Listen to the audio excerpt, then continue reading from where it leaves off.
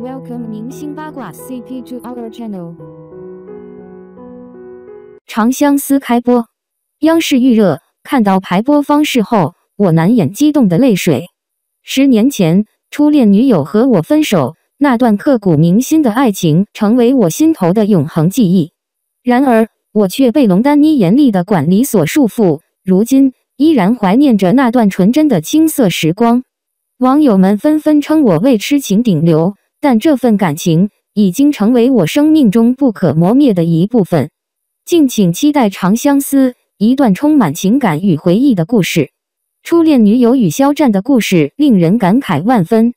肖战，一个自出道以来一直以暖男形象示人的明星，凭借电视剧的出色表现，在娱乐圈迅速崭露头角，成为当之无愧的顶级巨星。然而，他的爱情经历却充满了波折。在他的感情生活中，初恋女友扮演了重要角色。两人在大学时相遇，他们的爱情生活看起来幸福美满，就像普通大学情侣一样。女友聪明、善解人意，一直都是肖战心中的好女孩。但随着大学毕业，他们的人生道路开始分道扬镳。女友计划出国留学，而肖战却未能如愿随行。最终，这段美好的感情走到了尽头。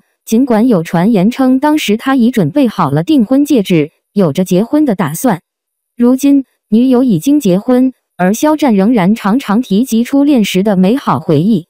这种坚守初恋情感的行为，让网友们称他为顶流痴情，可见他当初对这段感情的投入之深，真正是一位痴情至深的男子。这段故事不仅令人感叹爱情的曲折。也展现出了肖战在事业和感情中的坚持与付出。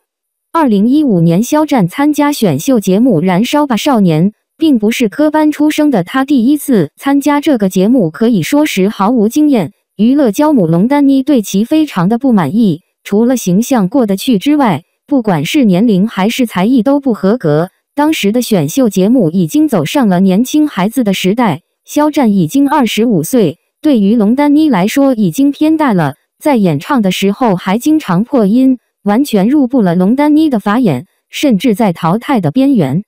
而李宇春作为肖战的队长，一直力挺肖战，为其向龙丹妮解释：“是你听错了，并没有破音。”一路护航肖战晋级。因为当时的李宇春已经是龙丹妮旗下的艺人，龙丹妮对李宇春的意见还是支持的。在选秀节目结束后。在李宇春的帮助下，肖战才进入了龙丹妮的天娱传媒娱乐公司。之后，龙丹妮自创挖机机挖娱乐公司，并带走了旗下的一些艺人，肖战也在其中。一开始并不被龙丹妮看好的肖战，纯属散养的状态。肖战因为一部《陈情令》成为了流量王，一直被埋没的他终于被看到，爆火之后，龙丹妮也开始对其严厉的管理模式。不对其所有的公众号占据了管理的权限，对其的活动行程安排也是严格的执行。肖战一开始非常遵守公司要求，甚至有点任由公司摆布。随后因两百二十七事情，肖战还被全网黑。当时的龙丹妮也没有出手相助。肖战已经成为顶流，心里有些不服气，并把公司告上了法庭，最后以败诉不了了之。经过交锋。双方加深了了解，肖战也体谅了龙丹妮的良苦用心，龙丹妮也认识到肖战时尚的价值。如今，肖战仍是龙丹妮旗下的艺人，虽然龙丹妮并不待见肖战，束手无措。肖战毕竟是顶流明星，流量的保障，双方依旧是合作的联系。既然这样，还不如好好的合作，和气生财，不是吗？长相思开播，央视预热，看到排播方式后。我难掩激动的泪水。继续押宝古装剧，这个暑期档鹅厂可以说是相当给力了。不仅把肖战、任敏主演的《玉骨遥》抬了上来，甚至还开启了超点，真是令人猝不及防。除此之外，鹅厂仿佛也了解观众对古偶的喜爱，于是趁热打铁，直接又官宣另一部古装剧《长相思》开播，杨紫领衔，演员阵容不错，被央视点名预热。看到排播方式后。我难掩激动的泪水。王牌班底，四段虐恋，《长相思》是根据桐华的原著小说，拥有大量书粉，因此小说、影视化消息传出后就一直备受关注。秦真、杨欢两位新锐导演联合执导，而编剧是原作者桐华，可谓诚意满满。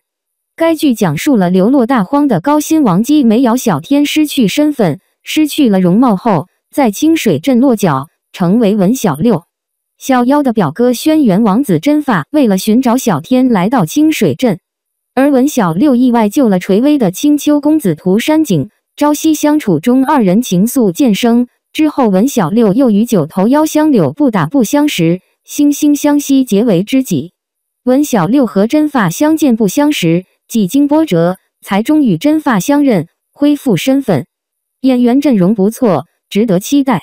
杨紫饰演小妖，作为童星出道，家有儿女，可以说是杨紫的代表作品了。然而，从小便出现在电视剧中，并没有给杨紫带来太多红利。毕业之后，也经历了事业的低谷期，直到香蜜大火，杨紫才迎来了事业的高光时刻。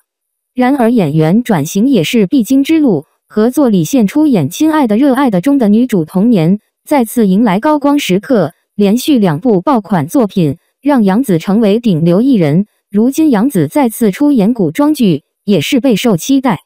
张晚意饰演真发，与小妖也是青梅竹马，出道即巅峰的张晚意可以说是一直被大家看好。与于和伟老师合作的《觉醒年代》，还有乔家的儿女，角色拿捏简非常不错。如今出演古装戏，看扮相也是古装美男子。在这部备受期待的古装剧《长相思》中，演员阵容引发了热议。邓为扮演涂山璟，与琴瑟和鸣的妖精 CP 相呼应。尽管他一直是娱乐圈备受争议的小生，主要争议点不在演技，而在于颜值。他的高科技脸在脸部辨识度上存在一些问题。因此，不知道他是否能够在这次的男二角色中改变网友们对他的固有印象。谭健次则出演香柳，与邓为搭档成为天柳，这对一见如故的搭档备受期待。自从出演《猎罪图鉴》后，谭健次的演技获得了广泛认可。如今，他也开始挑战古装戏。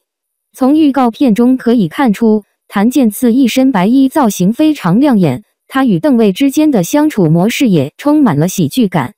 王弘毅出演赤水风龙，与清风高义的妖风组合备受关注。虽然他是娱乐圈的新人，尚未达到顶流艺人的高人气水平，但颜值尚可，只要演技表现不差，自然会吸引一批颜值粉丝。官方已经发布了追剧日历，为观众提供了友好的播出安排，连续更新一十天，共二十集。大结局将于八月二十三日播出。今晚七月二十四日剧集正式开播，而且在腾讯视频上独家上线。你是否期待这部古装剧《长相思》呢？让我们一同期待并见证这部剧的精彩表现。